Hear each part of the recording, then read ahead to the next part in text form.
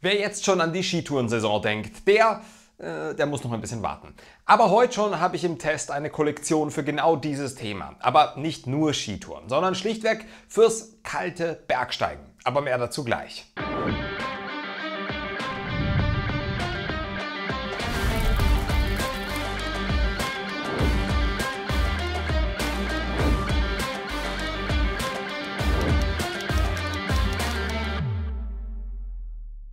Herzlich willkommen bei einem neuen Testbericht. Heute nehmen wir von der Marke Carpos eine Kollektion auseinander, schauen uns an, für wen und wen nicht das Zeug Sinn macht und ob die Italiener hier einen Fiat oder vielleicht doch einen Maserati entwickelt haben. Zuvor kurz der transparente Hinweis. Die Midi-Shell-Kollektion, also Jacke und Hose, um die es jetzt gleich geht, wurde mir für den Test von Carpos zugeschickt. Ich bekomme dafür aber kein Geld, aber die Produkte, um sie zu testen. Meine Meinung beeinflusst das nicht. Auch Carpos war damit vollkommen einverstanden, dass ich das Zeug nach allen Regeln der Kunst auseinandernehme. Ob das notwendig ist und war, das werden wir jetzt gleich sehen. Die Carpos Midi Kollektion machen als Kombi, also Jacke und Hose, eigentlich am meisten Sinn zu testen. Ob man letztlich jetzt wirklich beides zusammen braucht, ist aber natürlich individuell. Aber ich dachte mir, dass wir das alles in ein Video unterbringen können. Zuerst mal zu den harten Fakten.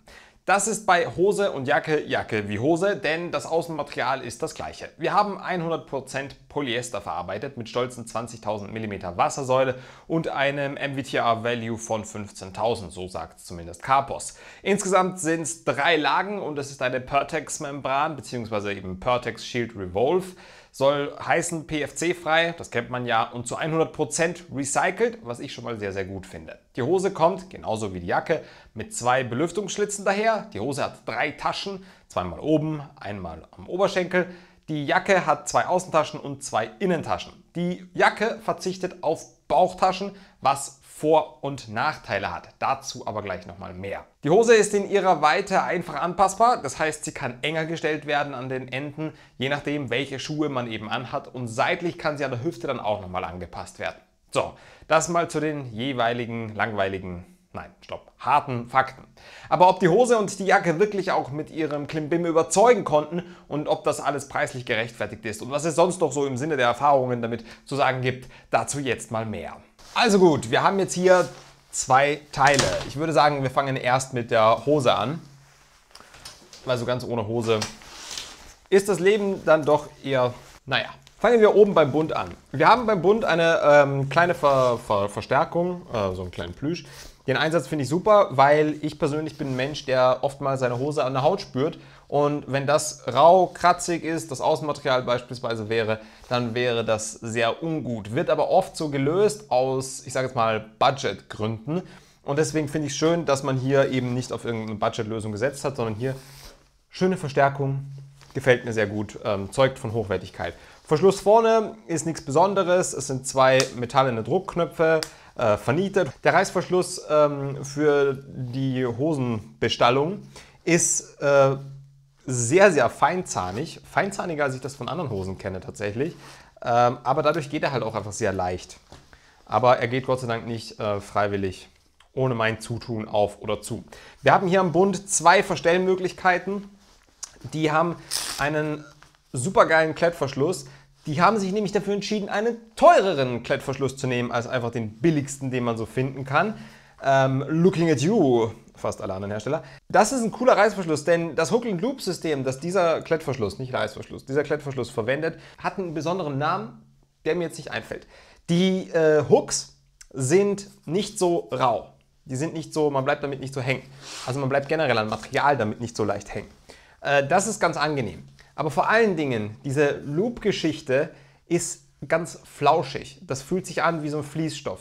Man kennt das von billigeren Klettverschlüssen, dass die einen eher so rauen, kratzigen, harten Loop-Bereich haben und so einen ganz, ganz steifen, ekelhaften Hook-Bereich. Das sind sehr günstige Klettverschlüsse.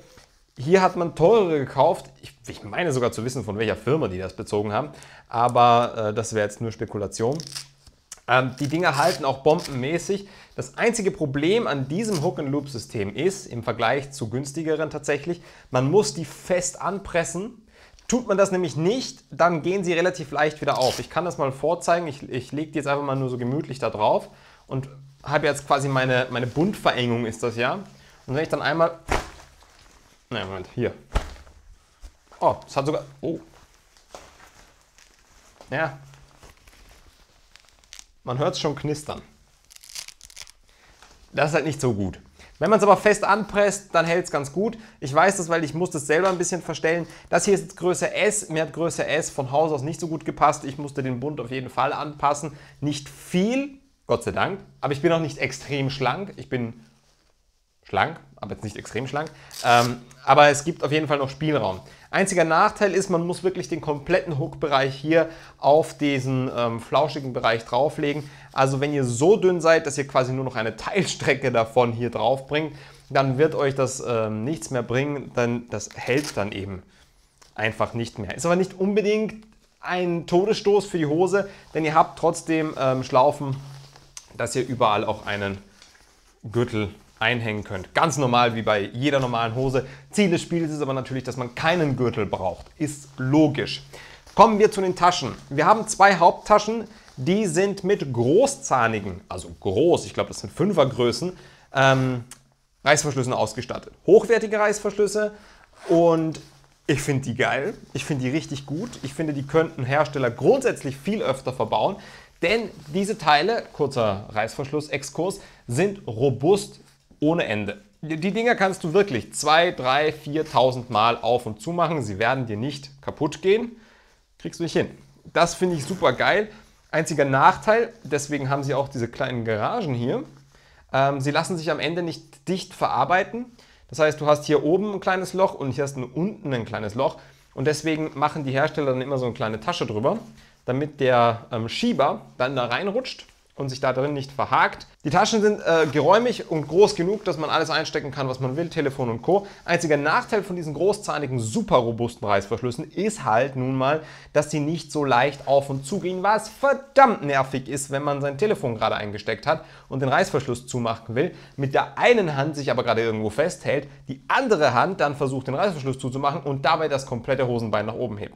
Das ist nervig. Es geht schon mit einer Hand, es braucht aber ein bisschen Übung ist nicht so geil. Aber kein Vorteil ohne Nachteil. Es ist halt schwierig jetzt zu sagen, ach, das haben sie scheiße gelöst. Das ist nicht ganz so, weil ich finde großzahnige Reißverschlüsse besser. Ich nehme diesen mangelnden Komfort hin, damit ich die Langlebigkeit habe. Das Ding ist halt, diese Reißverschlüsse sind gebaut für die Ewigkeit. Im Vergleich zu kleinzahnigen Reißverschlüssen, wie es alle anderen Hosen und alle anderen Jacken immer überall verbaut haben. So auch Carpos bei allen anderen Taschen. Das ist nicht so smart. Hätte man auch überall. Egal. Ihr wisst, worauf ich hinaus will. Die Tasche für sich allein ist ein bisschen zu klein. Ich meine, die Frage ist halt immer, wie groß will man es haben. Aber ich bin jetzt hier voll drin. Also ich stehe hier unten an, ihr seht hier unten auch die Naht. Ein Telefon passt rein, großes Telefon wird schon schwierig. Und ähm, Taschentücher, Portemonnaie, solche Sachen, Schlüssel passt rein. Hm, also ja, ich, pff, ja, ich meine, ich hätte sie gerne ein bisschen größer gehabt. Ähm, man hätte sie auch noch ein bisschen größer machen können. Aber andererseits, manche Leute wollen ihren, ihr Zeug nicht so weit unten haben und bei einer Oberschenkeltasche rutscht natürlich, wenn die Tasche größer ist, das Zeug nach unten. Was keine Ausrede dafür ist, dass man die schöne Tasche nicht auch auf der anderen Seite auch machen hätte können man hätte das doch einfach symmetrisch machen können. Dann hätte ich auf beiden Seiten eine Tasche. Wenn ich lieber mit rechts irgendwas wo rausfische, dann ähm, hätte ich auch eine rechte Hosentasche gern gehabt. Genauso wie eine Hecktasche. Hinten an der Luke hätte ich gerne irgendwo noch eine Tasche gehabt. Links oder rechts, vollkommen egal. Aber wenn ich einen Hochtourengurt trage, dann komme ich an diese Taschen dran. Ich weiß, Hochtourenhosen haben das oft nicht, aber es ist halt auch kein Argument zu sagen, brauchen wir nicht. Hätte man trotzdem machen können. Ne? So ist das eben. Wir haben Belüftungsreißverschlüsse. Ähm, die Dinger sind komplett dicht. Auch hier wieder mit der kleinen Zippergarage. Auch hier unten wieder ein bisschen anders gelöst dann, ähm, weil hier der Schieber einfach unten ansteht. Ähm, alles mit zwei Wegereißverschlüssen. Finde ich schön. Man kann sogar so ganz smarte Spielchen machen und dann äh, offen, uh, offen zu offen machen. Ist das dann quasi mehr Zonen Klimaautomat? Egal. Das war es aber soweit zur Hose oben, zu den Taschen. Die Verarbeitungsqualität von den Taschen, egal welche Naht ihr euch anschaut, zumindest ich jetzt hier bei, meinem, äh, bei, meinen, bei meinen Testsachen hier, egal welche Naht du dir anschaust, sie ist super verarbeitet, alles ist nochmal verklebt.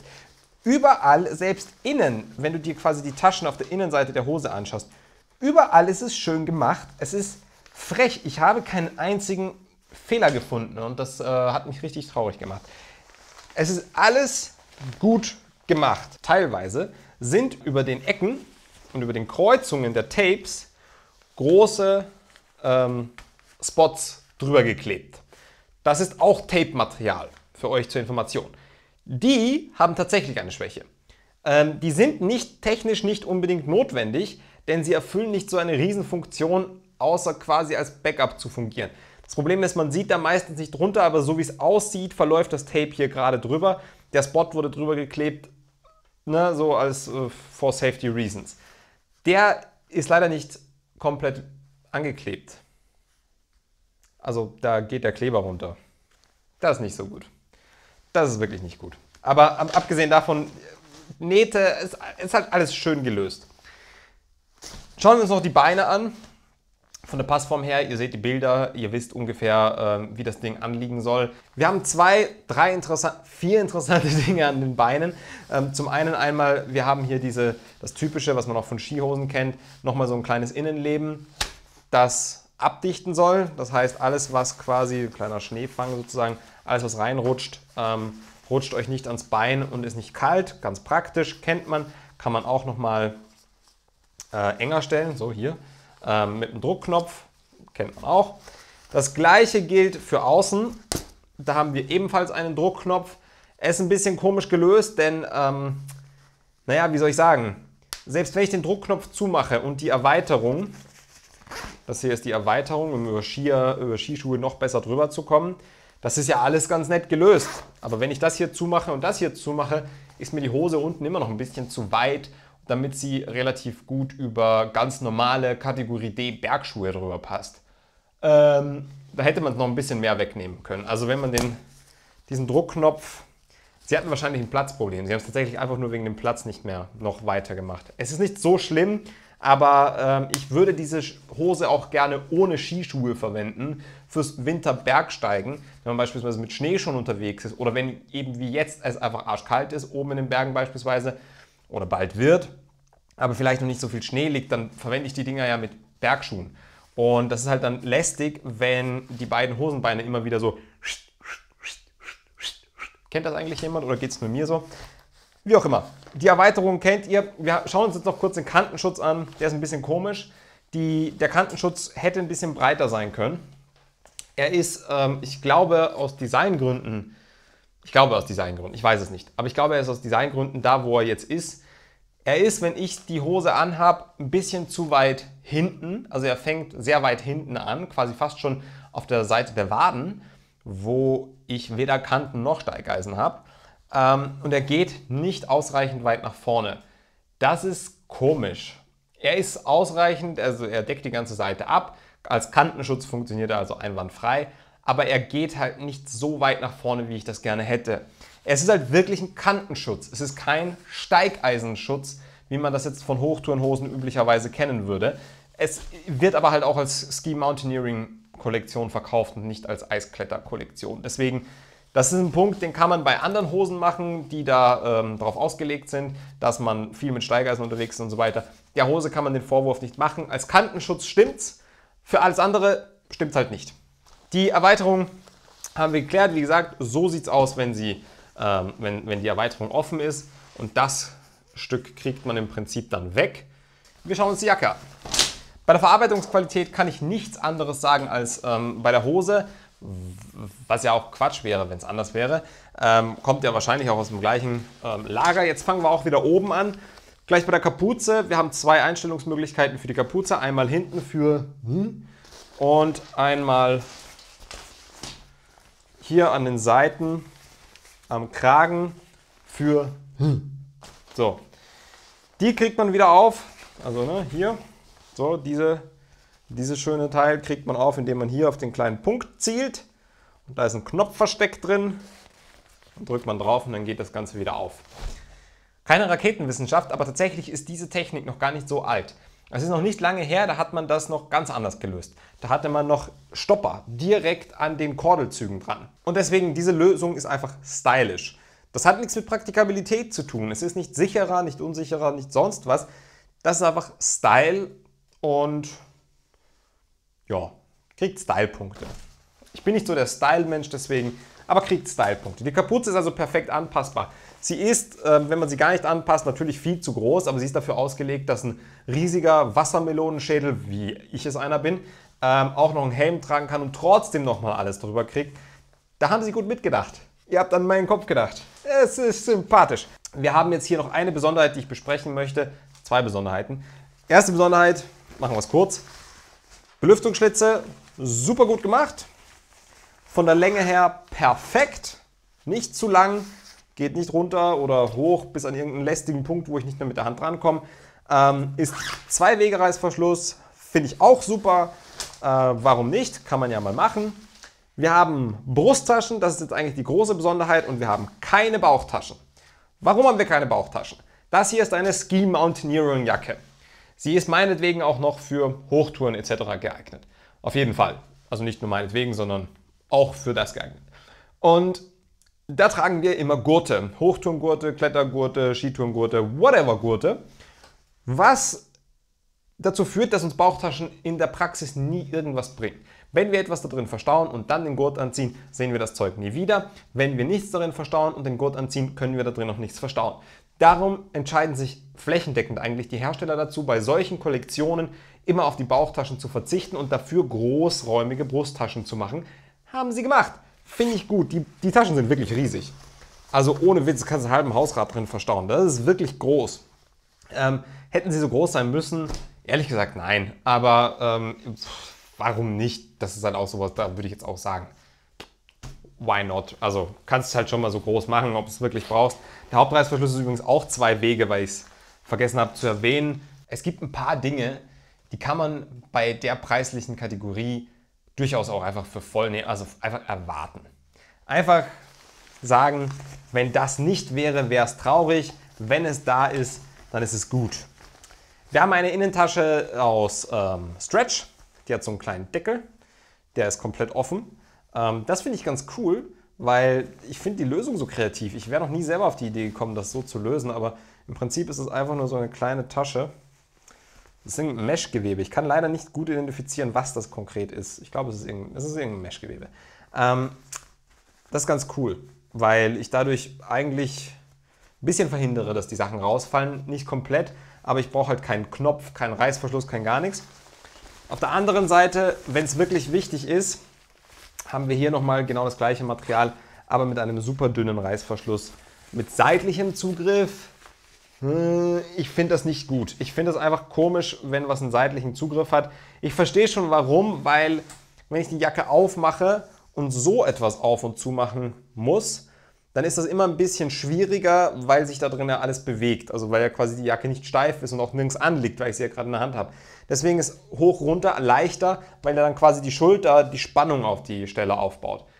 Ich finde es trotzdem komisch, weil wenn ich das Ding aufmache und ich habe da mehrere Kleinigkeiten drin, fällt halt alles raus. Weiß ich nicht. Finde ich persönlich einfach nicht so schön gelöst. Aber grundsätzlich finde ich es geil. Die Taschen sind auch wieder hochwertig verarbeitet. Ich kann, ich wiederhole mich langsam. Und weil ich mich wiederhole, äh, müssen wir die Sache jetzt hier mal abschließen. Die Kapuze ist äh, super geil verarbeitet bei der Jacke. Ähm, die Taschen sind alle super geil verarbeitet. Die Größen der Taschen sind geil. Dass es keine Bauchtasche gibt, ist Geschmackssache. Aber aufgrund der Disziplin, für die die Jacke entworfen wurde, ist das auch gut. Alles, was sie so an Material verbaut haben in der Jacke, und das ist mir wichtig, das einfach mal zu erwähnen, ist halt auch sehr qualitativ. Hier wurde halt nicht einfach Schrott genommen, eingebaut, für viel Geld verkauft. Hier wurden halt auch einfach Dinge gewählt, die, äh, die Reißverschlüsse beispielsweise, Gerade die Klettverschlüsse an den Ärmeln bzw. bei der Hose an der Weitenverstellung am Bund, ähm, die kosten halt tatsächlich mehr Geld als das, die, die billige Lösung, sage ich jetzt mal. Deswegen ist das halt beeindruckend. Es ist halt einfach gut. Und äh, das rechne ich sowohl der Jacke als auch der Hose ganz gut an. Und ähm, hatte halt auch in der Praxis äh, gemerkt, dass sowohl die Eigenschaften, die die Jacke mitbringt, die quasi die harten Fakten, dass die zutreffen und dass das stimmt. Und ich war auch nach 13 Stunden in diesen Klamotten weder unangenehm nass, weil ich das halt durch die Ventilierung ganz gut lösen konnte, noch war mir irgendwann so richtig kalt durch den eisigen Wind. Also tut die Jacke und die Hose alles, was sie soll. Und das mit wirklich qualitativ hochwertigen Komponenten, wodurch ich auch davon ausgehe, dass das ein Teil ist, was ich halt auch nicht so schnell wieder weggeben muss, weil irgendwas kaputt ist oder einschicken muss, was ich immer super nervig finde. Deswegen bin ich alles in allem sehr zufrieden damit gewesen. Okay, die Carpos Midi Shell ist also gut. Gut, aber wie sieht es jetzt mit dem Preis aus? Die Jacke liegt bei einer UVP von 450 Euro, die Hose bei 390 Euro. Ist das jetzt viel Geld? Ist das Preisklasse Maserati? Also viel Geld ist das, ja, aber man braucht ja irgendeinen Vergleichswert. Da Carpos bei den ganz Großen mitspielen will, darf man auch die ganz Großen als Vergleich heranziehen. Und das wäre bei Autovox beispielsweise eine Ortler-Kollektion. Die Westalpen ist etwas steifer, fester, robuster, unbequemer. Die Ortler ist aber ein relativ fairer Konkurrent. Die Ortler-Kollektion kommt auf glatt 1000 Euro, wenn man Jacke und Hose heute kaufen würde. Die Carpos Midi Shell auf 840 Euro. Das sind 160 Euro Unterschied für alle Bergsportler. Jetzt hier an der Stelle die Umrechnung. 160 Euro, das sind zwei Friends oder ein Eisgerät im Abverkauf. Sonst versteht das ja keiner. Also ein deutlicher Unterschied bei meiner Meinung nach ebenbürtiger Qualität und Featuredichte. Trotzdem immer noch eine Stange Geld, zweifellos. Womit wir zum Fazit kommen. Die Carpos Midi Shell ist bequem, macht einen relativ robusten Eindruck, reguliert die Temperatur ziemlich gut und ist definitiv wasserdicht. Die technischen Daten kommen also einwandfrei hin. Die Passform ist meiner Meinung nach sehr genial, wenn für meine Verhältnisse minimal zu groß. Aber mit viel drunter, wenn es richtig kalt ist, bin ich vermutlich auch froh über die Reserve. Die Features der Jacke sind smart und durchdacht und nicht alle so übertrieben. Und wurden auch alle hochwertig verarbeitet. Die Qualität der Teile ist also sehr, sehr stark. Ein paar Sachen sind mir aber eben ein bisschen zu eigen, wie die fehlenden Bauchtaschen, die fehlenden Taschen für das Heck bei der Hose. Aber das sind keine versteckten Mängel in dem Sinne, sondern offensichtliche Designentscheidungen. Kleinigkeiten wie die Position des Kantenschutzes und dass der etwas breiter hätte sein können, dass es einen Hook für die Beinabschlüsse geben hätte können, das sind alles keine Riesenthemen, aber dürfen natürlich auch nicht unter den Tisch fallen, wenn man das bewerten möchte. Das Design kann ich natürlich nur subjektiv bewerten. Mir gefällt die Kombination optisch relativ gut, ist nicht das schönste der Welt und sehr schlicht, aber absolut in Ordnung. Mir gefallen die Farben sehr gut. Die Regie beispielsweise findet die Farben nur so lala, ist also Geschmackssache. Ab sofort gibt es bei den Tests immer entsprechende Bewertungskategorien, damit ihr da über die längere Zeit mit mehr Testberichten auch eine bessere Vergleichbarkeit habt. Deshalb gibt's Fürs Produktdesign 8 von 10 Punkten, für Funktionalität 9 von 10 Punkten, für Qualität 9 von 10 Punkte, Nachhaltigkeit 8 von 10 Punkte, Preis 7 von 10 Punkte. Macht zusammen also 41 von 50 Punkten. Wenn euch der Testbericht gefallen hat, dann freut euch auf jeden Fall schon mal auf die nächsten Wochen. Nächste Woche haben wir einen brutal spannenden Kocher im Test. Die Woche drauf gibt es dann aus dem Hause Saleva einen interessanten Schuh im Test. Und dann gibt es nochmal was ganz Spannendes die Woche drauf. Bleibt gespannt, bis zum nächsten Mal wünsche ich euch wie immer eine wunderschöne Zeit und Bergheil!